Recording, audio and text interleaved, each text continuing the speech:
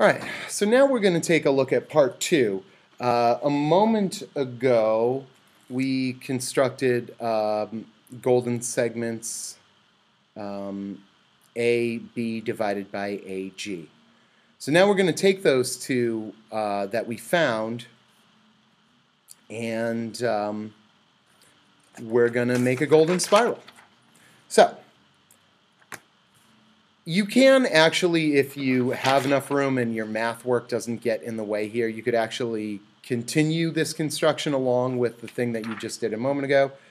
Uh, if you even choose to continue along, some students will, as soon as they get the location of G, just call it a day, and that's okay too.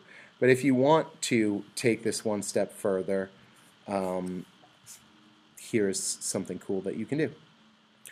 So here's A.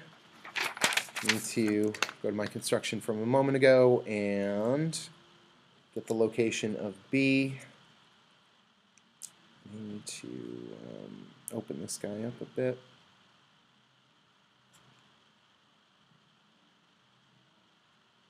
Just a little bit more, a little bit less, somewhere in the middle. About there. Double check. Sometimes it moves a little when you. Uh, okay. So this is length AB.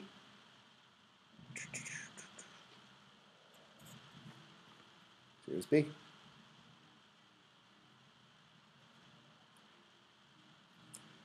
Okay.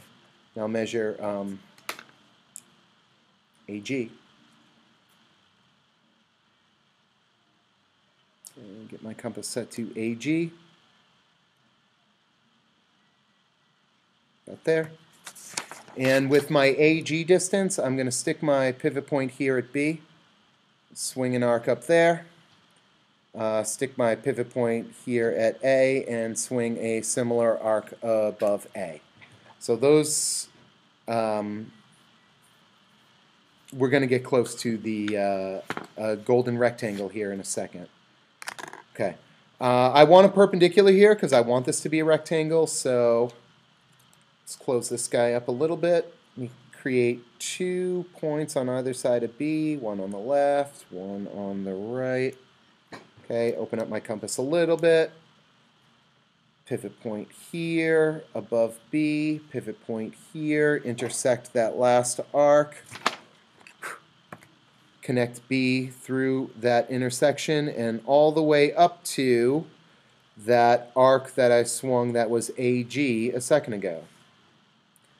Okay. Um, similarly, extend this guy just a touch. Similarly, let's create another uh, perpendicular here at A and uh, that'll be our rectangle and then we'll start constructing the golden spiral. It's really fun. That is garbage. That is better but still garbage because the line is really really thick.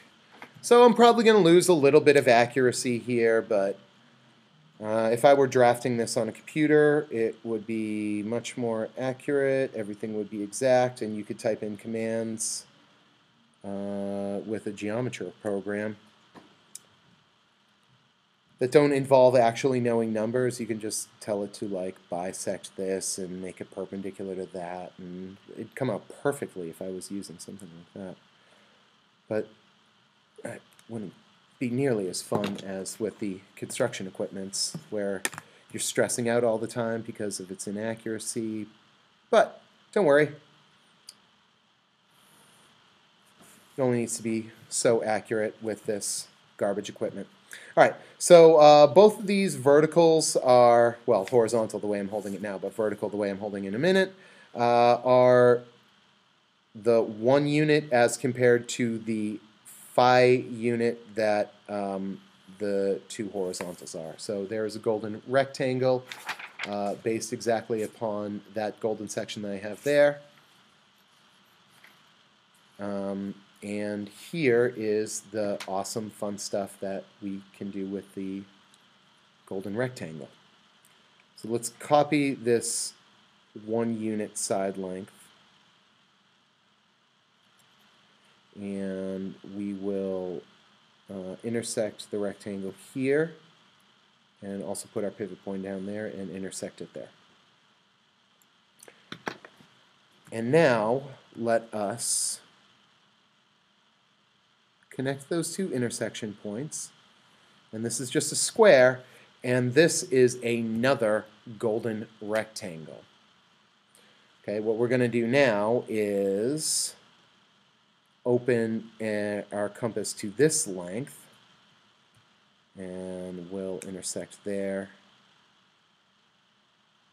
and there. Uh, and we'll connect these and that'll make another square.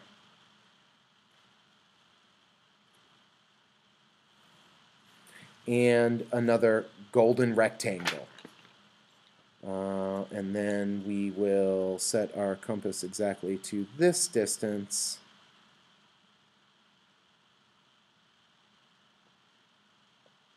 As exact as we can. It's pretty close. And we'll intersect there and again right there. And we'll connect that. And now we're getting really teeny, so this is probably not really even very accurate anymore. But we'll keep going for the sake of it.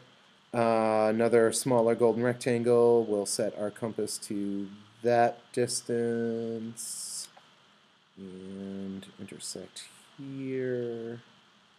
And this is probably not that accurate anymore, but sort of get the idea what could happen if I had super accurate equipment. Um, so that these little golden rectangles and squares would spin off to uh, infinity.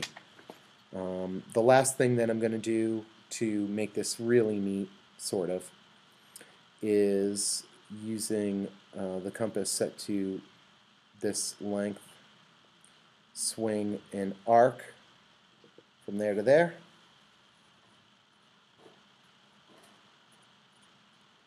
Oop, I think I moved my camera while swinging that arc. Uh, and now let's actually uh, close the compass a little bit. And,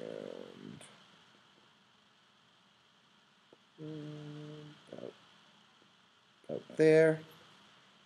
And we'll continue this arc with a smaller radius all the way up to there. And then I will make this radius a little bit smaller in one of these square side lengths and uh, we will continue this arc along. Losing a little bit of accuracy now for sure. Um, move it down here to this radius, swing my arc along, and so on and so forth, and we can uh, generate our good friend the golden spiral.